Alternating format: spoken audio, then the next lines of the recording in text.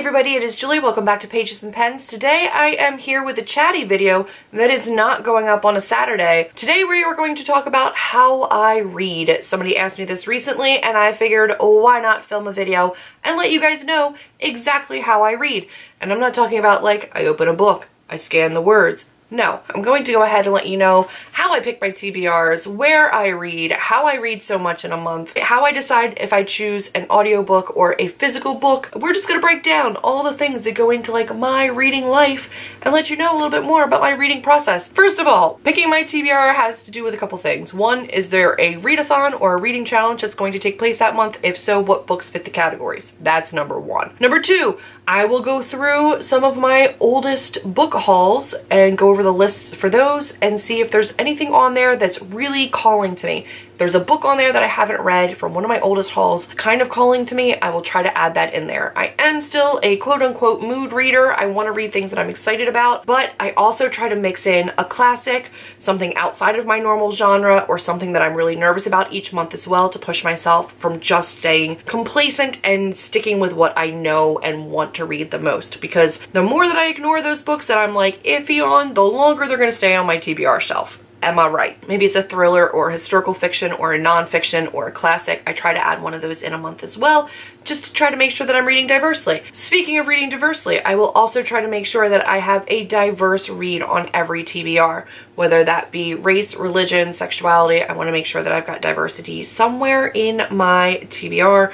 I also try to do my best about having an own voices book every month. Then outside of that, I try to do a pretty even mix of fantasy, high fantasy, contemporary. I try not to stick with anything wholly for an entire month except for contemporary May so that I give myself variety. And I also try to go aggressive with my TBRs so that I've got room to play around, figure out what I want to read as I go. I also will only make my TBRs with my physical copies of books. I do not include audiobooks. So when it comes to audiobooks and how I determine what I listen to in physical format versus audio format, the answer is pretty easy. I use the Overdrive app from my local library for audiobooks. There are not as many audiobooks in my particular library branch, and I think there's like 32 libraries in my county, so there's a lot to pull from. But what I will normally do is go through and look for audiobooks that are available right now, and then I will just sort through all of them, and any that kind of pique my interest, I will go ahead and ask to borrow. I very rarely seek out a specific audiobook and then request it or get put on a wait list for it. The majority of the time, I will just take whatever's available. For example, right now I'm listening to Caraval. Caraval is a book that I have the physical copy of,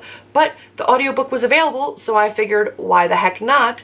and I'm listening to it right now. Otherwise, I will try to specifically go for books that I don't own that I can read in audiobook form. I also will go for audiobooks of longer, larger books that are intimidating to read in physical form. So I read Night Film, Carry On, I read Lair of Dreams, and The Diviners from Libba Bray. I read all of those in audiobook. I also read Night Circus in audiobook. Those are all ones that I was a little bit iffy on reading. Wasn't really sure if I was going to like them or not. Also very large books and listening to them was a way for me to just read them and not have to worry as much. So I think that they're a great alternative. I will also listen to books if I've heard that the audio versions are really superior to the actual written book or add something really great to the audiobook. It's really just a matter of what's available, what I'm kind of nervous about reading in the first place, but I typically try to go for books that I don't physically own that I can read in audiobook form. So there is no like huge rhyme or reason there. And then I also have for my TBR every month the Job in the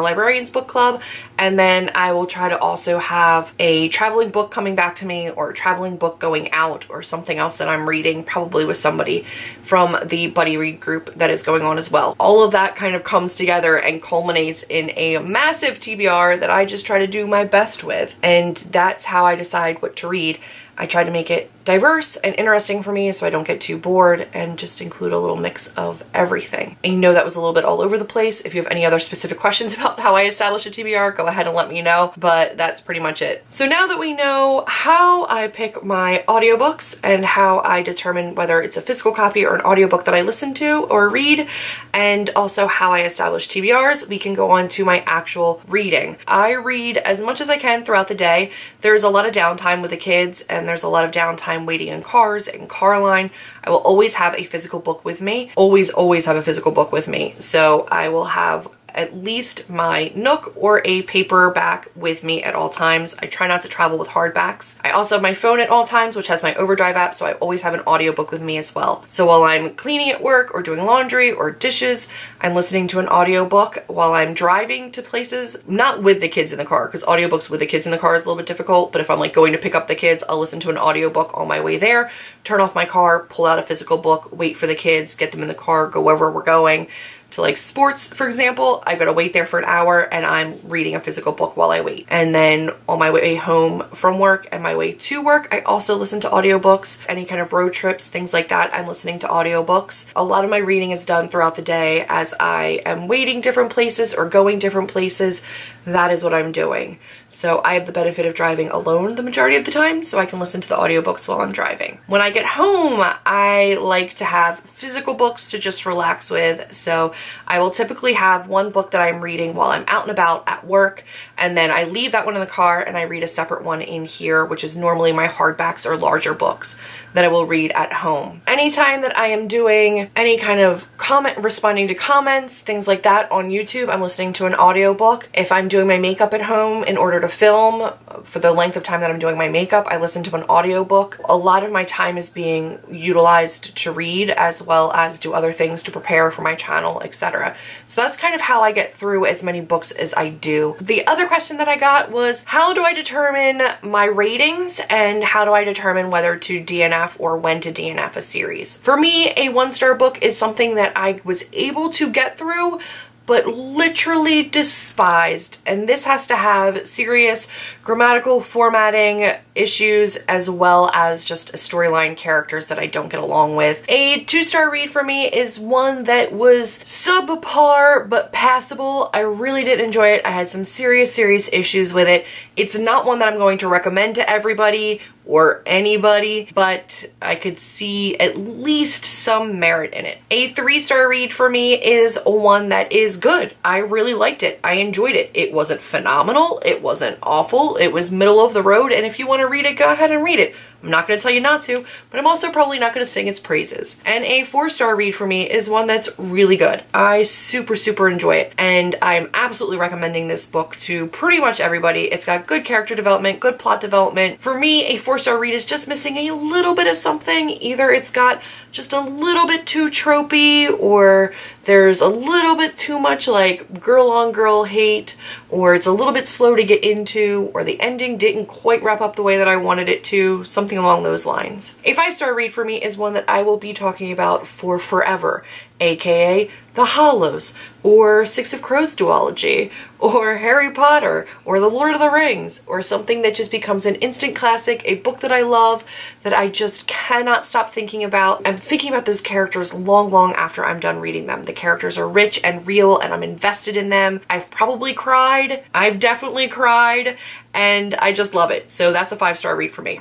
As far as DNFing, I really try to push through. I try to see the merit in a series. Here's the thing. If it's like an obscure book that really I have no interest in ever talking about again, and I'm just not able to get into it, I DNF it. But if it's a series or a book that I'm really hoping I can finally understand what everybody else sees, or I really want to be able to discuss it, take for example the Foxhole Court series, I pushed through because I wanted to understand what everybody else saw, and then I wanted to be able to talk about it intelligently and say that I had at least given the whole book a chance. But then there's other books, like Truthwitch by Susan Dennard, for example, where I've picked it up three times and I've only gotten 45 pages in and I just cannot get into it. I'm not officially DNFing it, but for right now I'm done with it. Sometimes I will DNF just because I'm having a really hard time getting into the books. Other times I will DNF because it's just god awful and I cannot stand the characters. I can't stand their voice. I can't stand the way that the plot is being driven. It basically just comes down to like not forcing myself to read things that are just miserable